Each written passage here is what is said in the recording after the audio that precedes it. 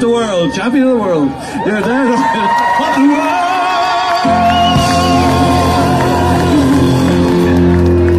Stop milking it there, Paddy. now, ah, look at that, look at that, lovely posters from everybody. Well, it must mean a lot when you see. I mean, I don't know, that girl wasn't born at the Olympic homecoming.